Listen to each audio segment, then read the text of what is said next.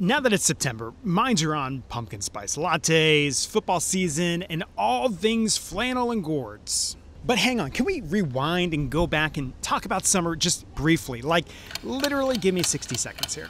So, Climate Central just dropped a retrospective report on the heat that was felt from June through August across the globe. You know, summer in the Northern Hemisphere.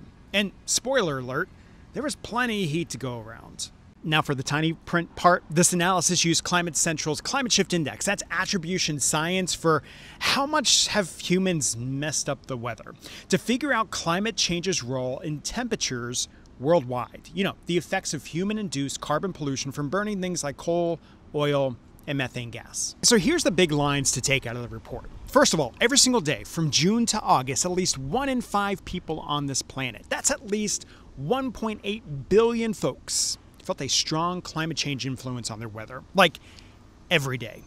Also, nearly 955 million people, so almost a billion humans, experienced a month or more of risky heat days added by climate change. A quick pause here. Risky heat days means temperatures hotter than the 90th percentile of what an area normally sees, the hottest of the hot temperatures expected. And that's important because this is where heat related health risks start spiking.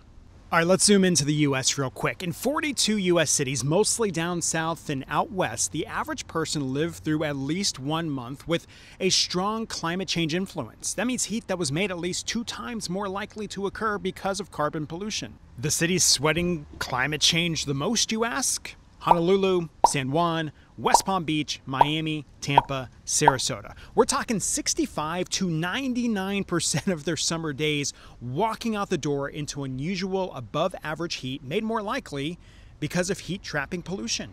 I know, I know, it's summer, it's supposed to be hot, right? Well, here's the thing every tenth of a degree we warm this planet, it makes weather more extreme. This past season's heat, it fueled wildfires across the globe. Europe had its worst wildfire season of record. Canada saw its second worst wildfire year.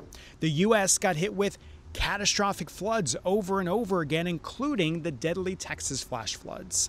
Even Finland and Norway, countries where you pack sweaters in July, saw consecutive days of record breaking heat never before experienced. So if this summer felt different, you were right you are living through climate change in real time. To read the full report and to find all the data, it's live right now at climatecentral.org. Go check it out.